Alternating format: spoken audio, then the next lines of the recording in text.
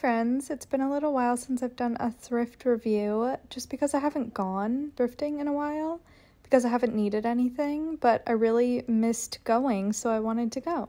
And this is what I found. Starting with the items that I loved but I left behind, that first jacket I thought was so fun, but I don't really wear blazers, so I left it for someone who would love it. Those embroidered pants with the little flowers were so cute, but not my size, so I left them for someone who would love them. And then those linen pants were my size, and I thought they were really cute, but I already have a bunch of linen pants, so I just, I left them. I think some people might disagree with me, but I think this table could be really cute if it was styled correctly, but I don't need one, so I left it behind. And this funky chair I thought would be so cute in someone's like fairy garden.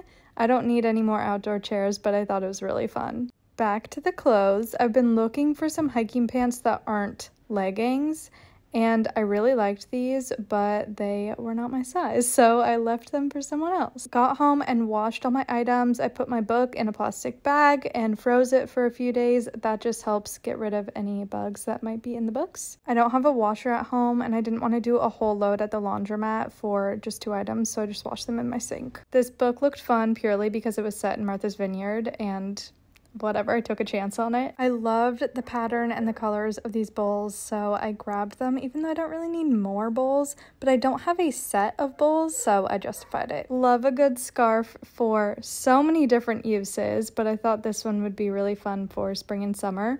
I also just shared a video about how to use a scarf with a wine bottle as a gift opportunity. If you're interested in that, you can go take a peek and find it on my page. And then the last thing that I thrifted was this dress. And I really stood there for such a long time. I couldn't decide if I wanted to get it or not, and I wasn't going to try it on there.